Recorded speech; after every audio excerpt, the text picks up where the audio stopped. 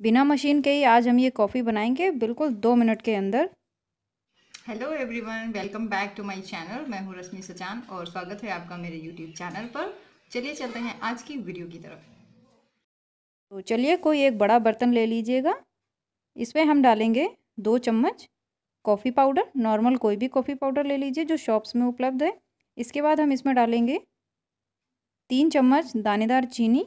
हम यहाँ पर एक गिलास कॉफ़ी बनाएँगे, यानी कि एक लोगों के लिए।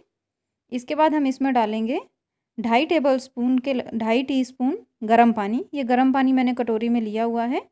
तो इसी टी स्पून से इस तरह का आपके घर में चम्मच ना हो तो खाने वाला नॉर्मल चम्मच इस्तेमाल कर लीजिए।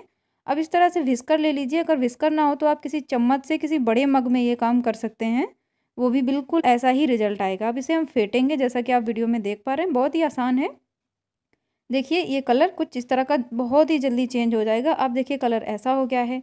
हम इसी तरह से जैसे फेंटते रहेंगे, ये एकदम गाढ़ी हो जाएगी। अब देखिए, ये अभी फिटी नहीं है उतनी अच्छी और ये अभी एकदम विप्ड हो जाएगी। अब देखिए, जिस तरह मैंने जैसे उठाया है तो ये कितनी टाइट है, ये गिर नहीं रही है।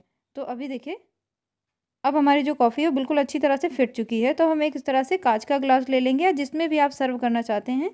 बर्फ़ का टुकड़ा डालेंगे, एकदम ठंडा ठंडा दूध डालेंगे, फ्रिज का रखा हुआ।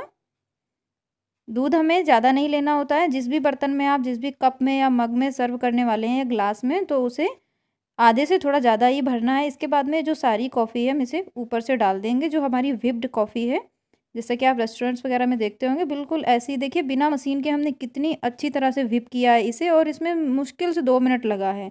अब इसे ऊपर से इस तरह से हम एकदम बराबर कर देंगे, लेवलिंग कर देंगे। और इसमें हम थोड़ा सा कॉफ़ी पाउडर ऊपर से सजावट के लिए छिड़क देंगे और आपकी एकदम बढ़िया रेस्टोरेंट स्टाइल कॉफ़ी दो मिनट के अंदर घर पर बनकर तैयार है। तो आने वाले मेहमानों को बनाकर पिलाइए इम्प्रेस कीजिए, आप भी मज़े लीजिए। वीडियो आसान लगी हो तो लाइक और शेयर करना तो बनता है और चैनल को सब्सक्राइब कर लीजिएगा।